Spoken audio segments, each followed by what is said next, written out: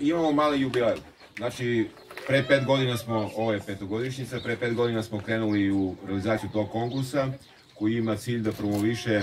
5. juni, dan zaštite životne sredine, da pošaljemo jaku poruku i poruka treba da ide preko vas najmlađih iz preškolskih ustanova, osnovne škole, u celom regionu i da Pirot i Pirotski okrug budu mapirani kao ne samo u operativnom smislu što organizuju adekvatno zaštitu životne sredine, nego i sa jakom porukom da najmlađi i njihovi roditelji bave dede su spremni da adekvatno učestvuju u zaštitu životne sredine. Danas imamo mali jubilej, kažem, 5 godina, a i 50 godina kako je Skupština Ujedinjenih nacija proglasila 5. juni za dan zaštite životne sredine što nas obavezuje za današnji dan da pošaljemo jaku poruku svima koji donose odluku o zaštiti životne sredine i učestvuju u procesu zaštite životne sredine na nivou našeg grada, na nivou Pirotskog okruga, na nivou naše države. Zahvaljujem se svima koji su aktivno uzeli učešće u realizaciji tog konkursa, pre svega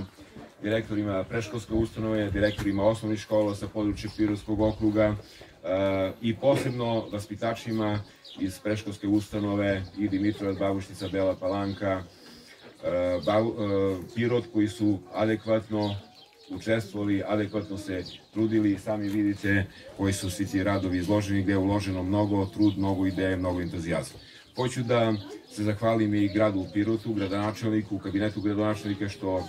uporno podržavaju i što su i pre pet godina podržali i danas podržavaju tu svoju aktivnost i smatraju naše poruke za adekvatnu reakciju prilikom donošenja odluka. Ta podrška je ne samo u medijskom smislu, ta podrška je i u operativnom smislu i na kraju uvijek kažem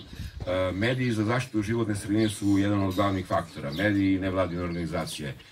Mediji danas su prisutni i mi unazad koliko smo tu 5-6 godina uporno mediji dosledno prate sve akcije koje su usmerene na zaštitu životne sredine, promovišu sve aktivnosti na zaštitu životne sredine i na taj način, ako analiziramo pre 5-6 godina i danas imamo jedan veliki entuzijazam kod građana u cilju svih aktivnosti koje sprovode zvanične institucije, da li je deponja, da li je grad, da li je komunalac Pirot u zaštiti životne sredine.